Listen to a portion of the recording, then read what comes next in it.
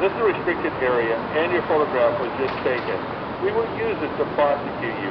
Leave the area now.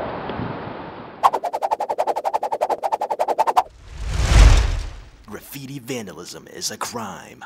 Reward up to $500. For information leading to the arrest and conviction of a graffiti vandal, call 1 800 Taggers. That's 1 800 824 4377.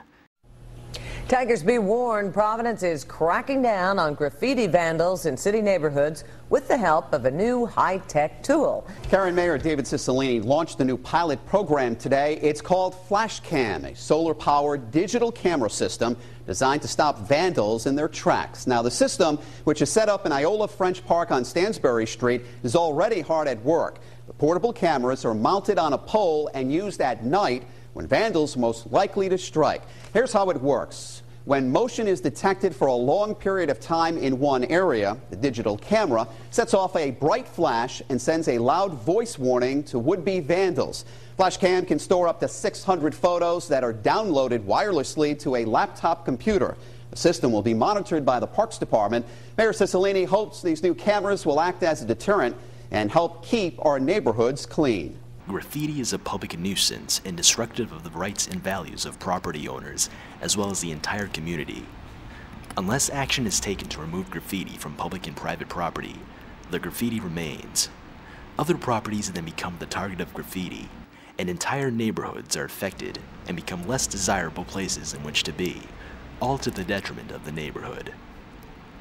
The City of Providence is enacting this program to prevent graffiti and its spread from public and private property, and to reward those whose public spirited actions result in the apprehension of violators and offenders, and by doing so, provide enforcement tools to protect properties from acts of graffiti vandalism and defacement. Section 16 142 Prohibited Acts. Defacement it shall be unlawful for any person to apply graffiti to any natural or man-made surface on any city-owned property or on any non-city-owned property.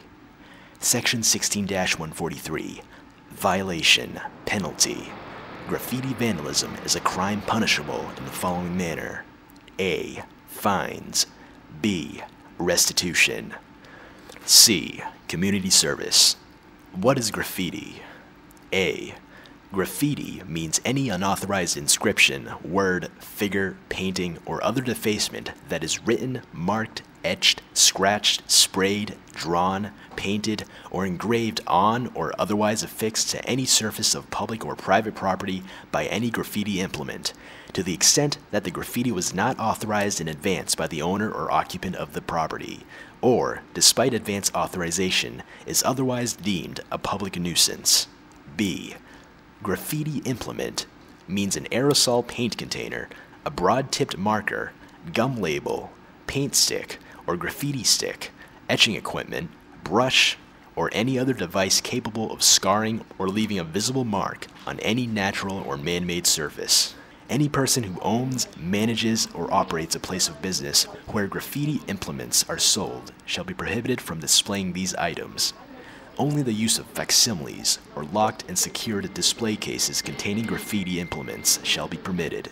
Residents can log on to www.providenceri.com slash graffiti to fill out a graffiti removal request form or call the Graffiti Task Force hotline at 1-800-TAGGERS